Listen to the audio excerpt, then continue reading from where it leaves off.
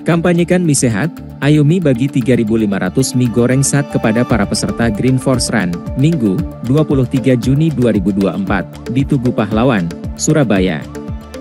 Marketing Ayomi, Sheila Pangki mengatakan jika pihaknya ingin lebih mengenalkan produk mie sehat kepada para pelari, olahragawan dan warga Surabaya yang konsen dengan makanan sehat, tapi enak.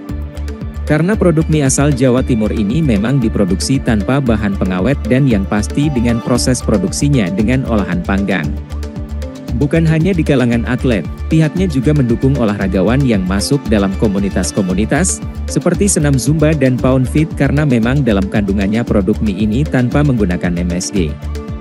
Diketahui ribuan pelari yang mengikuti event ini mendapat satu kupon untuk bisa ditukarkan di Boot Mie Sehat ini, untuk menambah karbo setelah berlari sejauh 5 km, 10 km dan 21 km.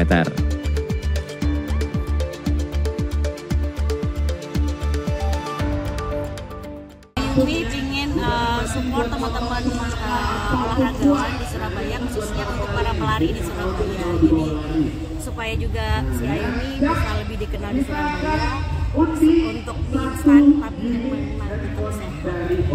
Enak. Bagikan berapa Pack? Pack untuk kurang lebihnya ada 3.500 uh, pack. mie.